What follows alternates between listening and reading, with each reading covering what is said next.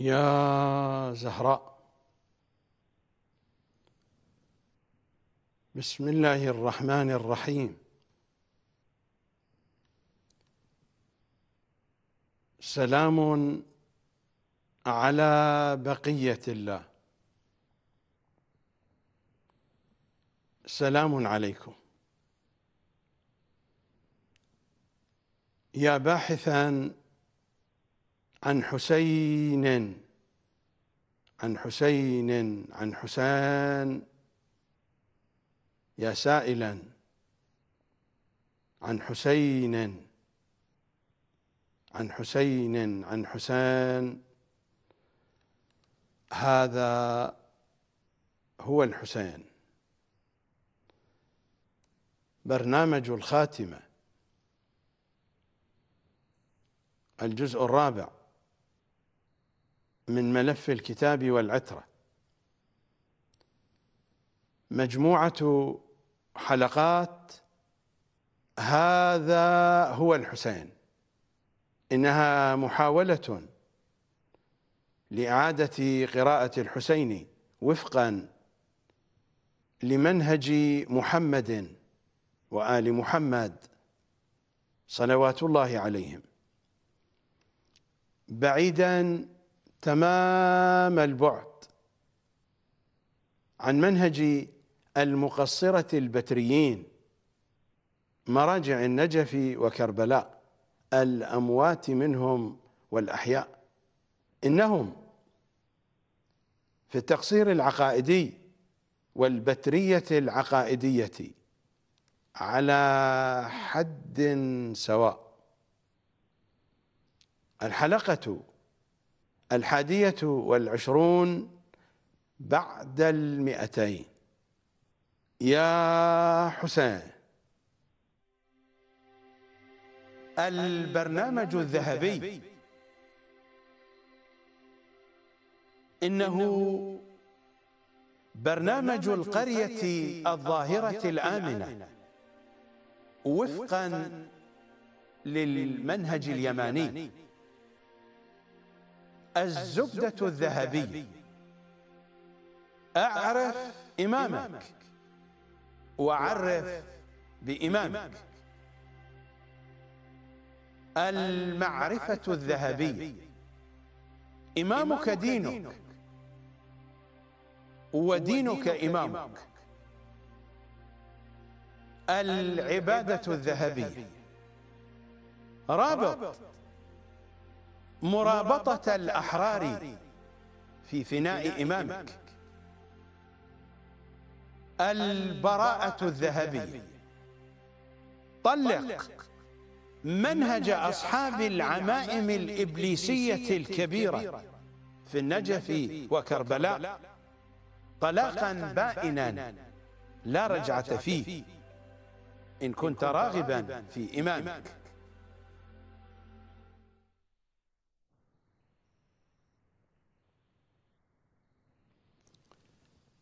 هذا هو الجزء الثالث من عنواننا المتقدم في الحلقتين الماضيتين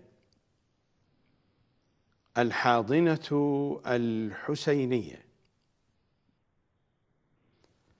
مر الحديث في تعريفها وفي حدودها.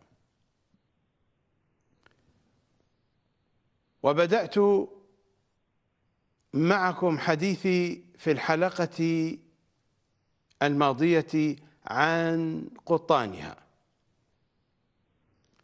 الكلام يتواصل في شأن قطانها. القاطنون في الحاضنة الحسينية. مر الحديث عن عنوانين أشرت إليهما. المخلصون والصديقون. إنني أتحدث عن الشيعة من أمثالنا.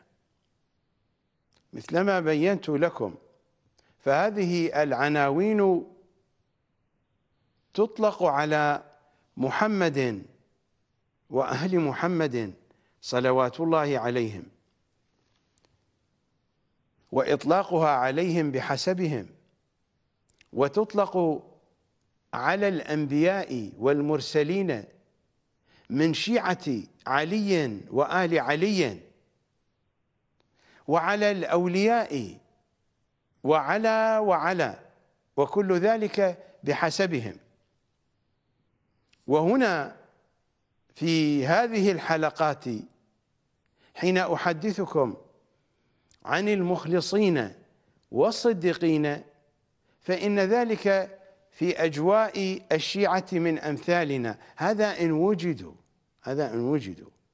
إن وجد هناك من المخلصين ومن الصديقين من شيعة علي وآل علي. إذا إذا إذا كان هناك من شيعة لعلي وآل علي في واقعنا الشيعي. لأننا في الحقيقة لسنا شيعة لعلي وآل علي نحن شيعة لمراجع النجف. نحن على دين مراجع النجف. ومراجع النجف دينهم لا علاقة له بدين محمد وأهل محمد. إنهم يدعون من أنهم على دين محمد وآل محمد. لكننا إذا أردنا أن نغوص في الحقائق فإن دين مراجع النجف وكربلاء لا صلة له بدين محمد وآل محمد من جميع الوجوه. هذه هي الحقيقة المقشرة من الآخر. هم يضحكون على أنفسهم ويضحكون علينا ونحن أيضا نضحك على أنفسنا ويضحك بعضنا على بعضنا. هذه هي المسخرة الشيعية بامتياز. هذه هي المهزلة الشيعية بكل معاني الفشل والخيبة والسقوط. على أي حال فإنني أتحدث نظريا لا أتحدث عمليا. حتى لو كان الكلام يأخذني إلى الجهات العملية في واقعنا الشيعي الديني فإن الكلام سيبقى نظريا فقط. لأن الواقع الشيعي الذي نعيش فيه لا علاقة له بالتشيع للحجة بن الحسن. هذا تشيع طهسي خذر وسخ. هذا تشيع شافعي معتزلي صوفي قطبي قولوا ما تريدون أن تقولوا من هذه العناوين الوسخة البعيدة عن العترة صلوات الله عليها. هذه مصيبتنا وهذه مشكلتنا. منذ أن أسس الطوسي المشؤوم حوزته المشؤومة الملعونة في النجف سنة 448 للهجرة ولا زالت تلك اللعنة وذلك الشؤم وذلك الضلال يسيطر على واقعنا الشيعي إلى هذه اللحظة. على أي حال هذا هو واقعنا. ولا يوجد أحد يريد أن يغير هذا الواقع. أعود إلى الحاضنة الحسينية وإلى قطانها إلى المخلصين وإلى الصديقين. حديثنا عن المخلصين ومر الكلام في تعريفهم. استنادا إلى حديث إمامنا السجادي صلوات الله عليه الذي رواه لنا أبو خالد الكابولي. وقرأت عليكم ذلك من كمال الدين وتمام النعمة لشيخنا الصدوق المتوفى سنة 381 للهجرة والطبعة طبعة مؤسسة النشر الإسلامي قم المقدسة. صفحة 353 من الحديث الثاني الذي يبدأ في صفحة 351 إمامنا السجاد يقول لأبي خالد الكابولي يا أبا خالد إن أهل زمان غيبته زمان غيبة الحجة بن الحسن القائلين بإمامته والمنتظرين لظهوره. أفضل من أهل كل زمان. لماذا؟ لأن الله تبارك وتعالى أعطاهم من العقول والأفهام والمعرفة. ما صارت به الغيبة عندهم بمنزلة المشاهدة. وجعلهم في ذلك الزمان بمنزلة المجاهدين بين يدي رسول الله صلى الله عليه وآله بالسيف. أولئك المخلصون حقا وشيعتنا صدقا والدعاة إلى دين الله عز وجل سرا وجهرا. أولئك المخلصون حقا المخلصون إذا هم أصحاب العقول والأفهام والمعرفة. قطعا هم على مراتب. منهم من هو من عامة الشيعة ومنهم من هو من خاصة الشيعة. لكن عنوان المخلصين ينطبق عليهم فكل شخص بحسبه. فمن عوام الشيعة مخلصون بحسب منازلهم بحسب نواياهم بحسب معتقداتهم بحسب معرفتهم بحسب مراتب عقولهم. ومن خواص الشيعة مخلصون أيضا بحسبهم وبحسب كل ما تقدمت الإشارة إليه. أولئك المخلصون حقا من عوام الشيعة ومن خواصهم. الذين هم من عوام الشيعة إمامنا الحسن العسكري يحدثنا عن جده الصادق صلوات الله وسلامه عليه في تفسيره الشريف. إنها الرواية المهمة والمهمة جدا رواية التقليد أم روايات التقليد.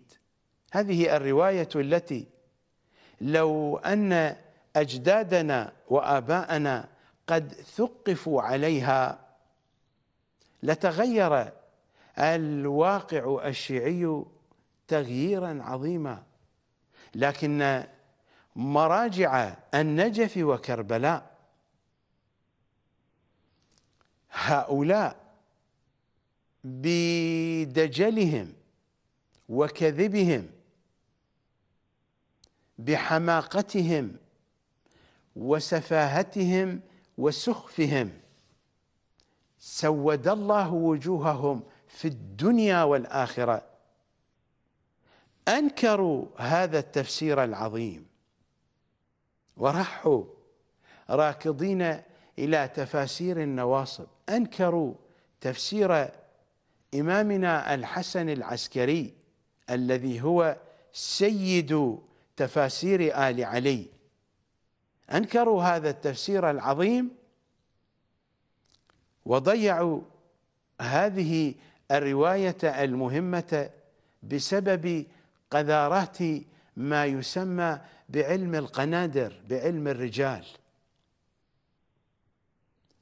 لأن عقولهم قنادر لذلك اعتمدوا علم القنادر. إنني أستعمل هذه الكلمات كي أصف الأشياء بحقيقتها. قولوا ما تريدون أن تقولوا عني. لا أبالي. إنني أريد أن أضع النقاط على الحروف. بسبب عقولهم القنادر ذهبوا إلى علم القنادر ودمروا حديث أهل البيت.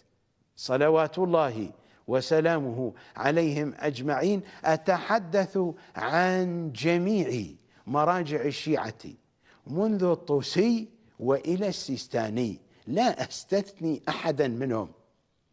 كل واحد منهم بحسبه له حظه العثر في حربه. على هذا التفسير الشريف وعلى سائر الأحاديث التفسيرية بل على سائر أحاديث أهل البيت. كل واحد منهم له نسبة من الحظ العاثر الفاشل في تضعيف أحاديث أهل بيت العصمة. ماذا أقول؟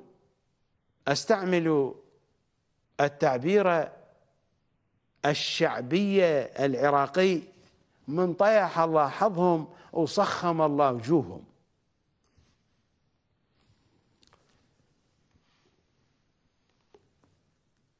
ما هي الرواية تصفهم؟ من أنهم أضروا على ضعفاء الشيعة من جيش يزيد على الحسين بن علي وأصحابه. هم أقبح من شمر وأقبح من حرملة. أية قباحة؟ قباحة هؤلاء المراجع. الإمام الصادق يتحدث عن أكثر مراجع التقليد عند الشيعة زمان الغيبة الطويلة. فالإمام يتحدث عن زمن لا فيه من إمام ظاهر ولا فيه من نائب خاص للإمام. فالزمان إذن هو زمان الغيبة الطويلة.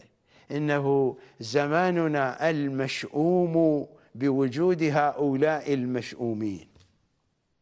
أي شؤم أي شؤم في زماننا بسبب وجود هؤلاء المشؤومين.